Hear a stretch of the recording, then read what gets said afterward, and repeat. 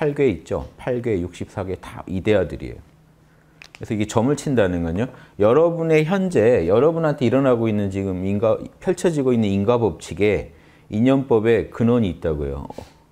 왜 내 내 삶이 이렇게 펼쳐질까? 그럼 어떤 조건 속에서 주역에 있는 어느 괴가 지금 내 삶을 지배하고 있는가 이걸 찾아내는 거예요. 이데아를 찾아내는 거예요. 내 삶이 현실이면 이 내 현실을 지배하고 있는 어떤 조건이 갖춰지니까 내 삶에서 어떤 이데아가 지금 출현했다는 거예요. 주역 점을 쳐서요. 건께 이료가 나왔다라고 치죠. 건께 이료가 나왔다는 건요. 지금 너의 상황을 지배하는 이데아는 건이고 그렇죠? 건의 이데아고 건의 이데아 중에 첫 번째 효가 일효가 나왔다는 거는 변효가 나왔다는 거는 이게 음으로 바뀌어 버렸다는 거예요. 그래서 이 현상계는요. 양에서 음으로 바뀌고 음에서 양으로 바뀌고 밖에 없습니다.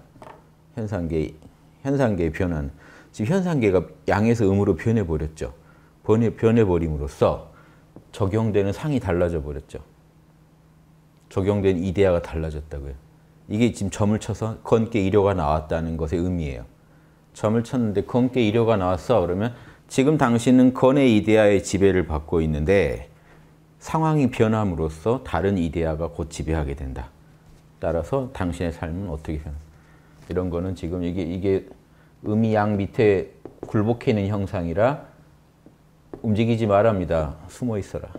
그래서 이 효가 뭐로 나오죠? 잠용 무령. 용이 숨어 있으니 아직 지금 쓸 수가 없다. 몸살려라 하는 결 나와요. 앞으로 어떤 이데아가 지배한다까지 보고 얘기하는 거예요. 그래서 점을 하나 친다는 게 의미가 일반 점 치는 거랑 다르게 주역점이 중요한 이유가 현상계를 설명할 수 있는 이 도구를 제시해요. 수단을 제시. 괴라는 게 놀라운 겁니다. 이데아를 설명하기 제일 좋은 거예요. 그래서 이게 이걸 이걸 앞으로 우리가 잘 활용해야 됩니다. 점소로 활용하자는 게 아니라 예, 결국 이 현상계에서 철학적으로 우리가 과학을 넘어서 이제 현상 철학과 과학이 이제 융합하는 시대로 가야 돼요. 그런데 과학자들이 설명할 수 없는 세계입니다. 과학자들은 아까 음에서 양으로 변하고 예, 음에서 양으로 양에서 음으로 변한 이 현상계 변화를 얘기할 수 있을 뿐이에요.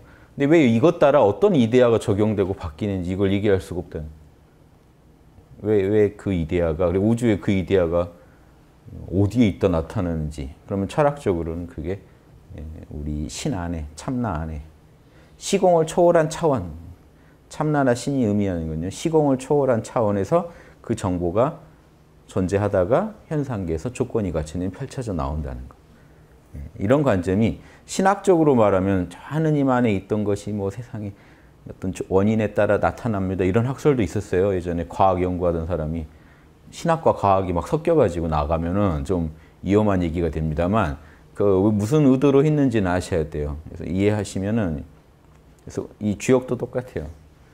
이게 이게 우리 안에 있다. 그래서 주역에서는 이걸 상이라 그래요.